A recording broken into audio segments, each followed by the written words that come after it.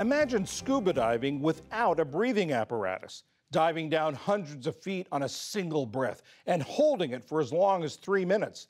That's freediving, an extreme sport that's growing in popularity and interest. The risks are high. Some freediving spots are considered as deadly as Mount Everest. A documentary called The Deepest Breath is now streaming on Netflix. It goes inside the sport, following two freedivers, Alessia Zecchini and Stephen Keenan. It is both mesmerizing and terrifying to watch. Earlier, I spoke with Laura McGann, the film's director. I asked her what drew her to the project. I read about uh, Stephen and Alessia in 2017, and and initially I didn't know what freediving was, so I had to Google what is freediving, and I was met by these incredible images of people swimming underwater, almost like a seal or a dolphin, like with seemingly without the urge to breathe.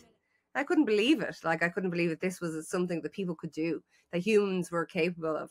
But then over time, as I learned more about Stephen and Alessia, that's when the story, the, the gravity of the story and how universal it was, you know, it really just inspired me. It made me feel like, God, am I am I living my life to the fullest, you know? You talk about how you it's hard to imagine people doing this. Uh, we've got a clip from the film that shows Alessia um, uh, free diving, and she's talking about the experience. After 30 meters, the pressure pushed me down. It's called the free fall, and this is for me the best part. It feels like you are flying. The silence, it's unique.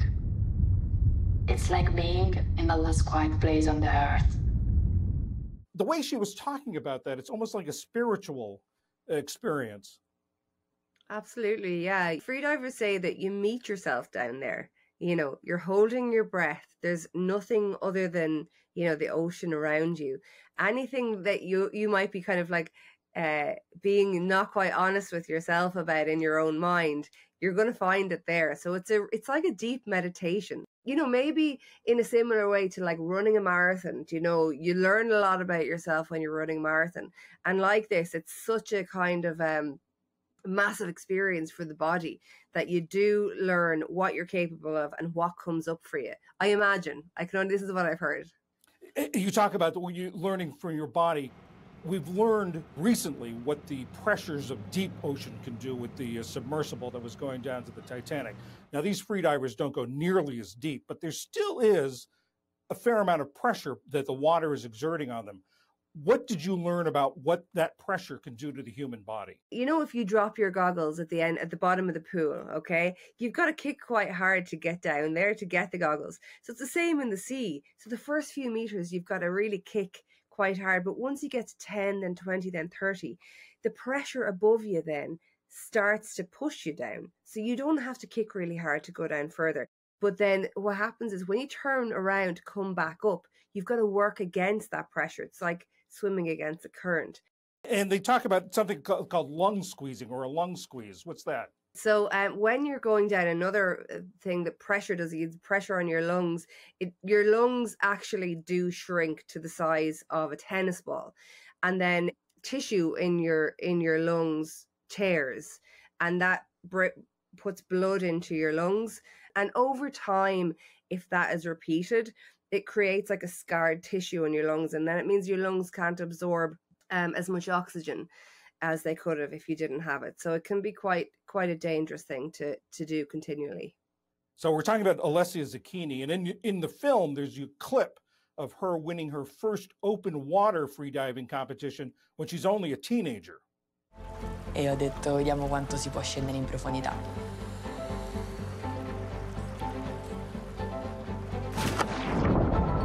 Perciò, trattenendo il respiro, a capire molte cose di più di te stesso.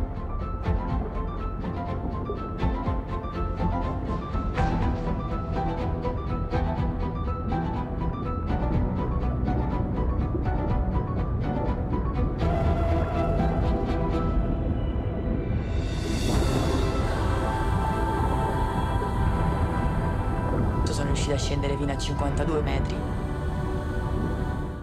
That's Alessia Zecchini. Uh, you tell the story of, about freediving uh, through her and through another diver, uh, Stephen Keenan. Tell us more about them. So Alessia wanted to be a freediver from the age of about 13, which was unusual even in Rome, where they do do pool freediving quite a bit. Um, and she wasn't allowed to compete really until she was 18 uh, because she kind of turned up and was blowing everybody out of the water. So the Federation really quickly brought in a rule to say, yeah, you, you can't do this. So she had to wait. When she came back at 18, she had a lot of fire in her belly and she absolutely um, arrived like a rocket. Stephen Keenan, on the other hand, is an Irish guy and he finished school and didn't really know what to do uh, with his life. He was a big fan of David Attenborough. So he kind of went off to be, you know, uh, his own version of David Attenborough, explore the world a little bit and just really experience what was out there.